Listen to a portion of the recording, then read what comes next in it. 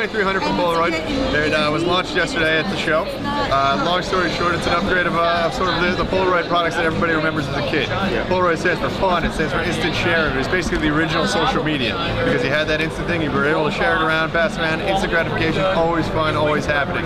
So with this new camera, you have the ability to save it to an SD card like you do any other traditional digital camera. We also have the ability to print instantaneously. If I were to just uh, take a picture. For demo purposes, we'll use sort of an old, old picture and old paper, just because the new paper isn't in.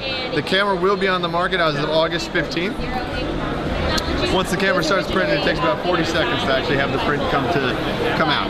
Uh, the, the, camera is a 10 megapixel camera. It uh, shoots HD video in 720p. Um, it uh, the, the, prints are 2 by 3 It holds 10 prints at a time, much like the original Polaroid, but we sell packs of 20 and 50, for between 35 and 40 cents a print. Um, retail price on the camera is $159.99. It'll be on the shelves on August 15th. how much uh, for the paper? The paper is uh, a 50 pack will be $24. Well, not bad. Yeah, so we're looking at, you know, whereas the old Polaroids, you're looking at about a dollar a print. Now we're down to 35 to 45 cents, somewhere around there. Again, this is the old paper. This is the clarity of what the new paper will be. Okay.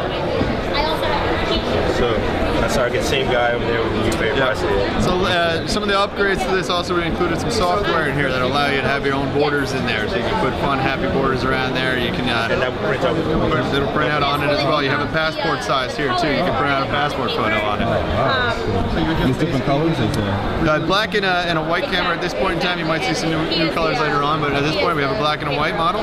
Um, it prints a two prints a two by three. And our reunits will be out a couple of weeks. It'll be on the shelves for for, plenty of time for the holidays. Uh, the market for this, you got to be looking at, you got to be looking at parents, you got to be looking at, at kids, you got to think, you know, because the. Yeah, party.